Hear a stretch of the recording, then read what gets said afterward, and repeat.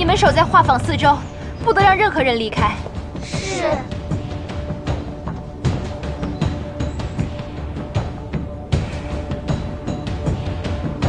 哼，岂有此理！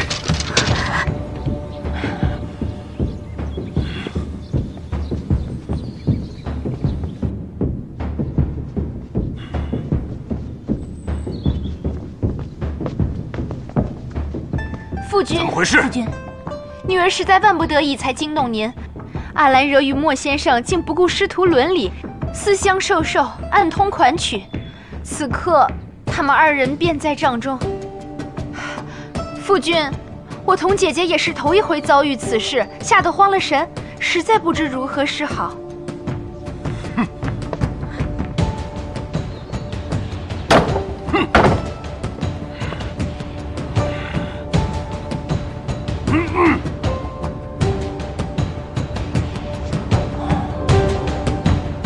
了，一大早，你们为何都聚在我们夫妻房内啊？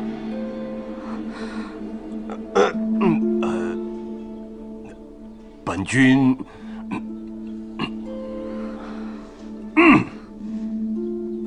这里太吵了。阿兰惹还没有醒，我带他先走一步。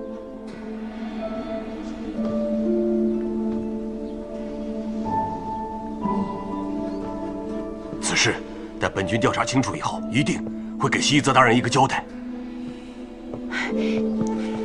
他不是西泽，他一定是苏莫叶。苏莫叶变化之术高超，连父君您也不一定识得出来呀！您一定要相信女儿啊！别说了。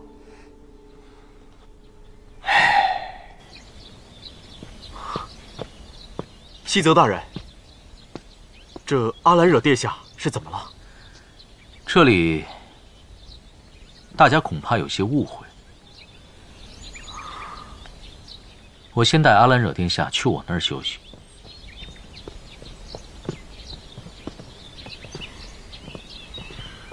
好，啊，上君，在下着实未料到，上君你也在这里。哎，莫先生，你怎么来了？哦，是这样子的，昨夜苏某得了一封信，落的是阿兰惹之名。邀我陈使至画舫相见，但阿兰惹的字是苏某一手教的，是不是他亲笔手书？寻常人瞧不出来，但苏某却还能分辨一二，因此想挑个清白的时辰前来询问阿兰惹，不曾想却遇上上君，亦携着两位公主前来探视他，倒是苏某没挑对时辰。父君，你别听他的，他全是乱说。哦，这等事，三公主不好，不好冤枉苏某乱说。苏某这里还存着您的另一封手书呢。